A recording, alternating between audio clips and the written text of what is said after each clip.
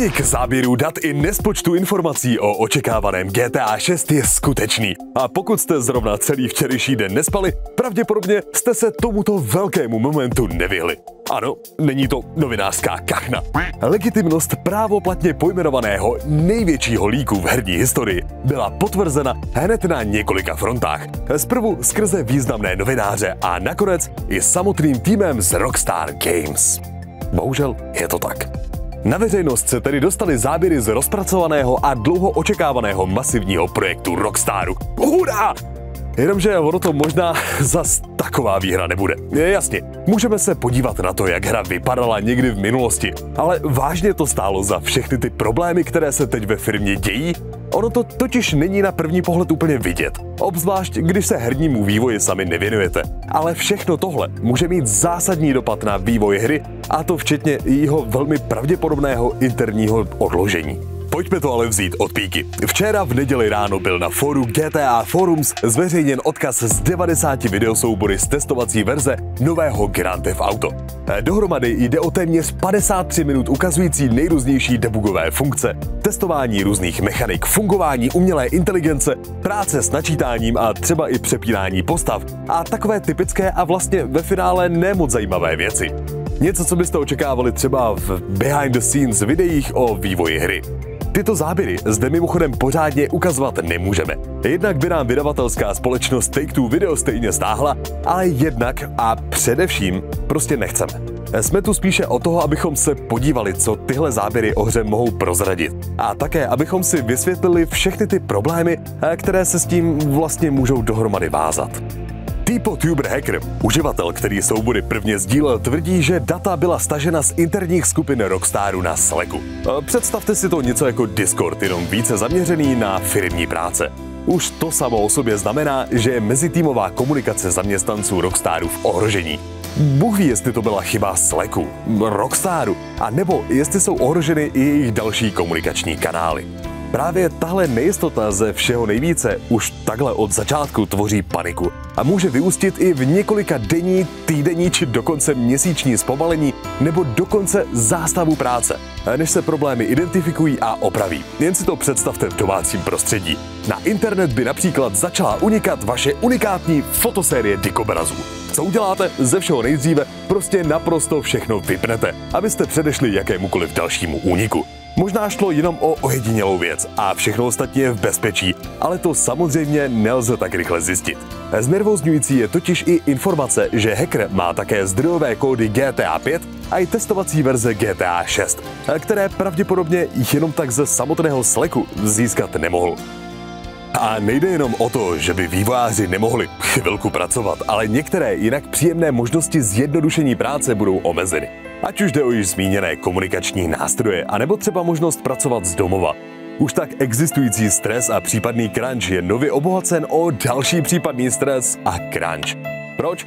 Jen abychom předčasně viděli, jak za náma jede policejní auto, vykrádáme obchod, anebo jak se postava kryje za zdí v bílém a úplně prázdném prostředí. Vážně, stálo to za to?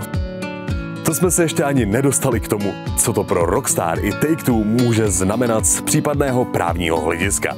A když do toho nebudeme započítávat zdrojové kódy nebo testovací build, protože už tuplem s nimi, tak videa ukazují řadu různých informací nad rámec toho, co byste viděli během hraní hry. Data, jména, skripty, řadu proprietárních informací, technik a praktik, ze které by mohla konkurence zaplatit Myland, aby se k nim jenom vůbec dostala. Zveličujeme to? Pravděpodobně ano. Ale vlastně jenom vážně trochu. Silný dopad to může mít na hru jako takovou i po jejím vydání. Finální verze sice bude vypadat lépe, ale nenutně ve všem. Nemusí se tam dostat některé věci, které sloužily čistě pro testování, anebo nakonec byly třeba ze hry vyřazeny kvůli času a výkonu. Záběry například ukazují hlavní ženskou i mužskou postavu. Možnost třeba vyhodit zbraně z inventáře, mechaniku plížení se, nošení těl, svazování civilistů a podobně. A nic z toho vlastně ve hře být nemusí. A mohou tak vznikat falešné představy o tom, co vlastně Grand Theft Auto 6 ve skutečnosti bude. Stejně tak na to můžeme jít z druhé strany a možná by vás překvapilo, kolik lidí si myslí, že zhruba takhle bude vypadat finální produkt. Jen bez všech těch textů a čísílek všude okolo. Mnozí tak záběry považují za skoro hotovou hru a dokonce si možná myslí, že vydání není tak daleko. A kdo ví, možná není, ale pravděpodobně je. Několik indikátorů totiž ve videích poukazuje na to, že mohou být záběry staré klidně i přes 3 roky. A na některém videu je vidět Windows 10 verze 1909, a což je verze z listopadu 2019. A na jiném je dokonce vidět menu PlayStation 4. Přitom jsme sami byli nedávno svědkem, jak se hra v průběhu vývoje může měnit. Vzpomeňte na rozdíl mezi uniklými alfa záběry z chystaného Skate a na poslední gameplay trailer, který vypadal vážně dobře. To, co uniklo, tak sice může být Grand Theft Auto 6, ale ne to Grand Theft Auto 6, které Rockstar vyvíjí aktuálně. Jestli se chápeme, možná si i vzpomenete, že se začátkem minulého roku podařilo hackerům ukradnout a dražit zdrojové kódy Cyberpunku 2077 a Zaklínače 3. A tam ale ve velkých uvozovkách naštěstí došlo k únikům až po vydání hry. O něco podobnější příklad se ale stal u téměř 20 let starého Half-Life 2. Tehdy se jednomu hackerovi povedlo ukradnout celou hru před jejím vydáním. V důsledku toho byla téměř hotová verze odložena o rok a výrazně se pozměnila od beta verze, která se předtím dostala ven. Teď si můžete představit, že se něco podobného bude dít právě i u GTA 6, protože problémy bohužel ještě nekončí. Podle všeho už se stihl za 5 bitcoinů, tedy kolem 2,4 milionů korun, vydražit zdrojový kód GTA 5. A nemusí trvat dlouho, aby další hexy mohli vytvořit neprolomitelné cheaty do GTA Online. Do jisté míry e, se připravit i na případný multiplayer GTA 6, anebo aplikovat tyto znalosti na další projekty Rockstaru, včetně Red Dead Redemption 2, který samozřejmě běží na úplně stejném engineu. No a kdo ví, co dalšího ještě stihl hacker ukradnout. Jak to totiž vypadá, měl se údajně dostat i k vývojovým plánům pro Bali 2. A to je další případná hromada problémů. Nevážně, o té hře se pořádně ani nespekulovalo. Zatímco hráči jsou z úniku víceméně nadšení, vývojáři si uvědomí, jaká panika, deprese a stres musí teď v kancelářích Rockstaru panovat.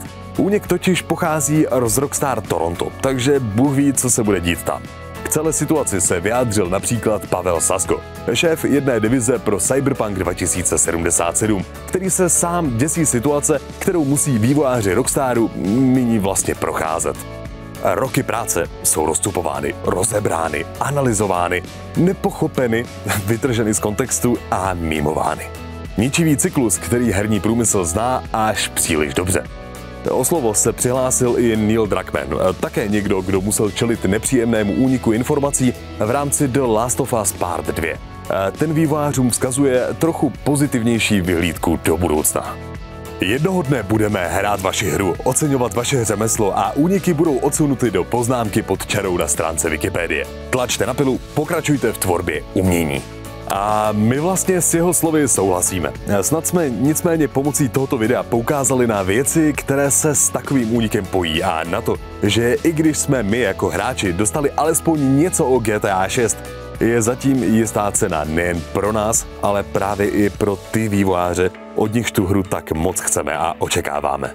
Na závěr tak můžeme jen dodat, že se těšíme, až nám bude Grand Theft Auto 6 odprezentováno takovou formou, jakou by si to vývojáři ideálně sami přáli.